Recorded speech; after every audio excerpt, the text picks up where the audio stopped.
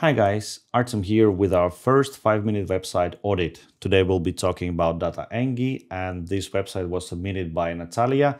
Thank you very much Natalia. And it was submitted to me on LinkedIn. So if you want to have your website audited next, get in touch with me and I'll see what I can do.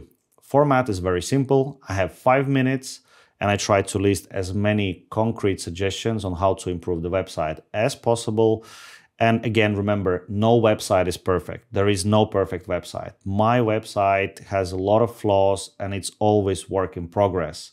So remember this no website is perfect.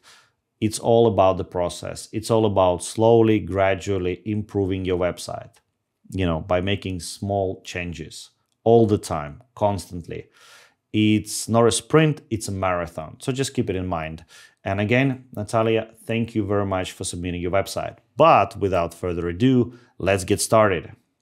So we have DataEngi, the domain is dataengi.com, and the first thing that I see is title here. It says home DataEngi. It should say something akin to uh, we help turn uh, we help companies turn big data into value and then DataEngi or something similar. It should be key, it should be keyword rich text aimed at humans. So don't do keyword stuffing. Don't, don't put there big data, software development, IT, outsource, this and that. Just just have something that is understandable, clear, concise, but still contains keywords that are important to your company. In this case, probably software development, big data, outsource, those are the main keywords, I would assume.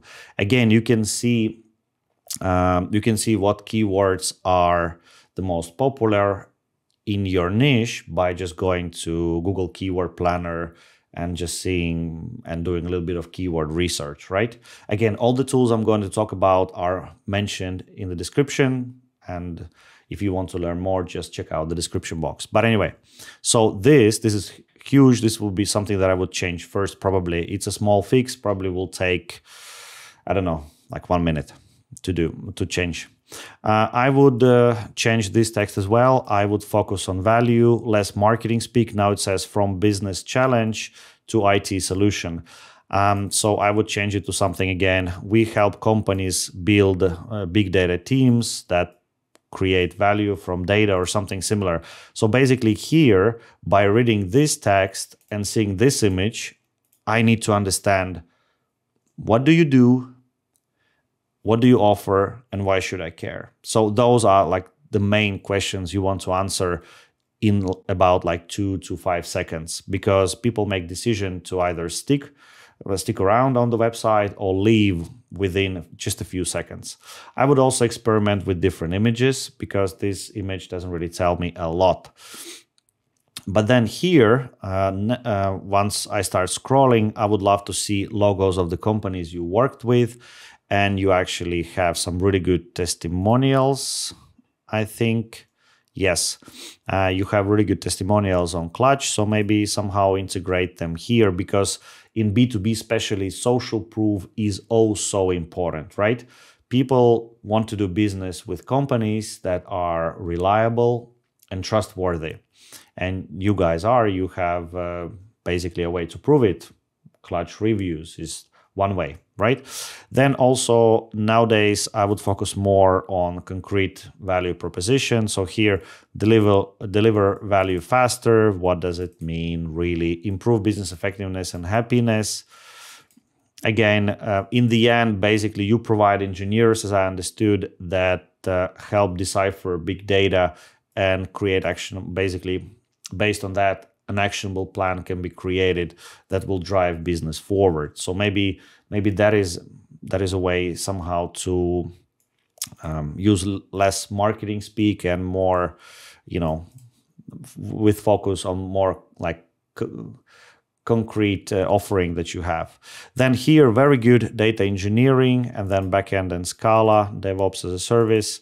Okay so for every service you should have a page obviously and then for every single uh, for every single service you should have um, again, you should consider every single service like a landing page. There should be some information about customers who already use this service, right?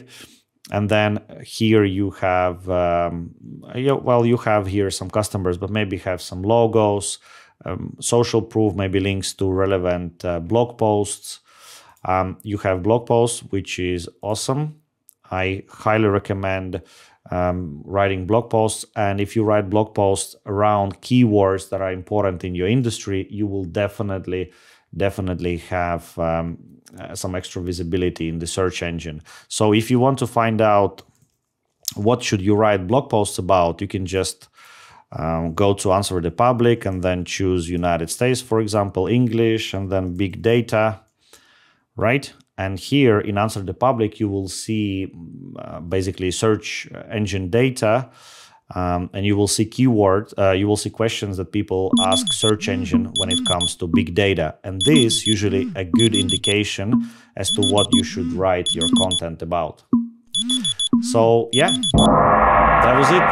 Five minutes went pretty quick, pretty, pretty damn quick.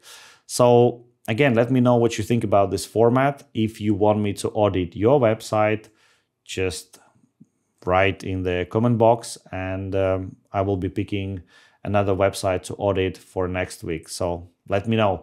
And again, if you find this useful, well, you know what to do, right? Thank you and have a wonderful, wonderful day.